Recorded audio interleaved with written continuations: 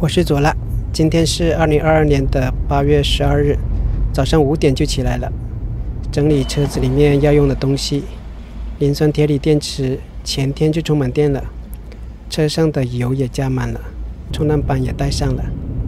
我要出门两天，去花莲市区的各个部门修改驾照、护照、银行卡、电话门号、健保卡，然后下午去传说中的。海货峰市集，晚上睡海边，反正有车顶帐篷，有电池，我还能晚上剪辑 vlog 影片。花莲的台九线的风景总是这样，我是看习惯了，不知道在城里生活的观众会觉得怎样？熟悉的地方没有风景吗？我应该是生活在别人的风景里。到达花莲监理站。别人在场地里练习考机车的路线，我去二楼，很顺利的换好了汽车驾照和机车驾照。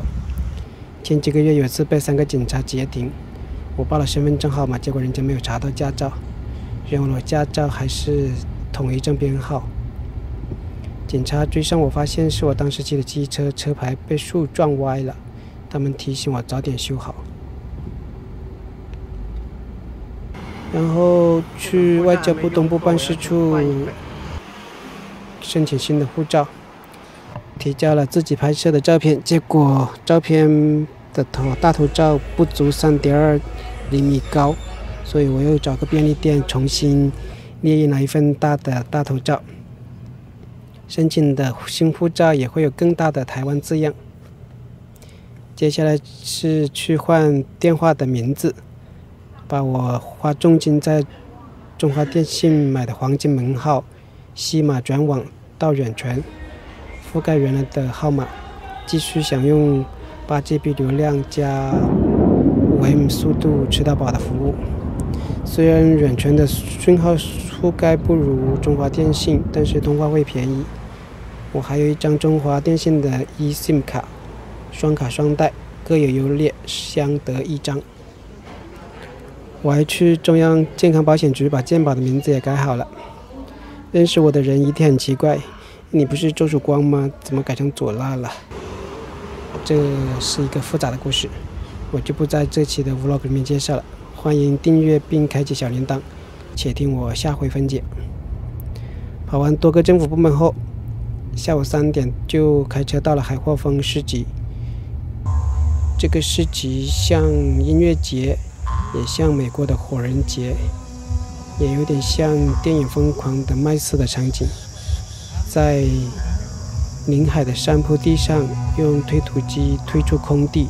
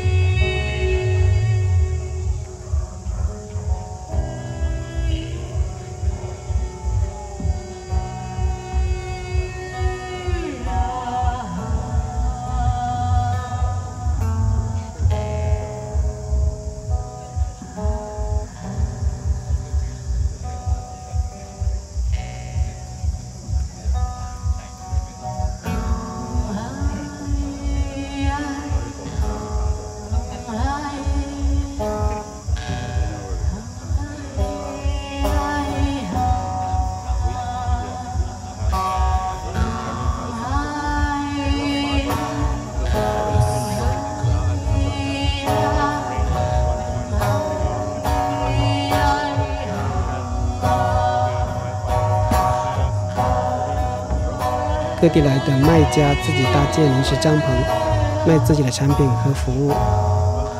有蹦迪的区域，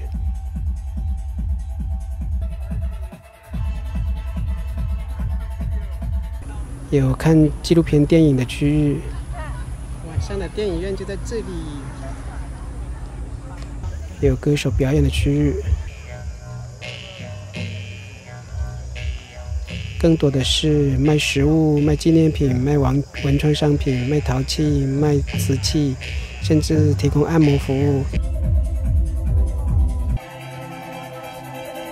甚至还有算命的。无论买家还是游客，每个人都很酷的样子。很多人衣着清凉，皮肤黝黑，身上有刺青或各类饰物。我觉得我跟这里的人有代沟。这里的手工艺品、纪念品和娱乐节目，我完全提不起兴趣。直到我发现有美女，而且没有被晒黑，美目皓齿，笑容可掬。呃，我们这摊有画画，有接发，然后还有一些银做的染色的耳环，然后还有画脸，白色地方，还有修眉毛。然后我们是，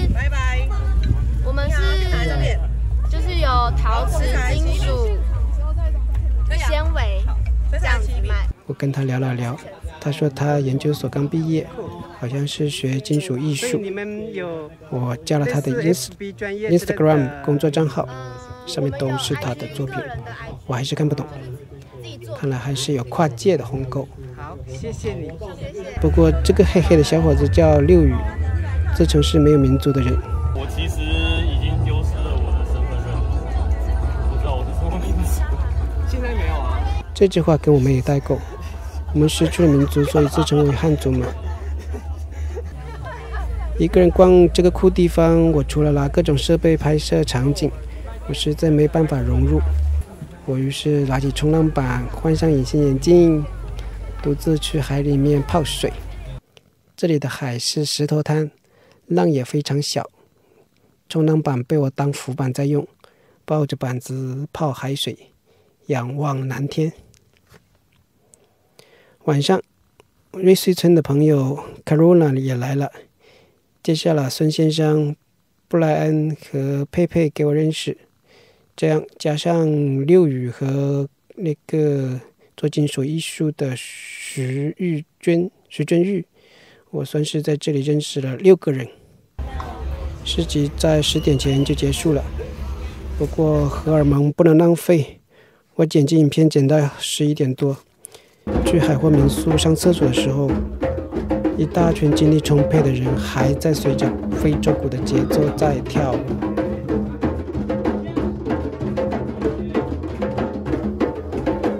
我偶遇了市集的创办人骷髅，想采访他，他说他状态不佳，那我明天再找机会采访他。我是左拉，感谢收看，欢迎订阅。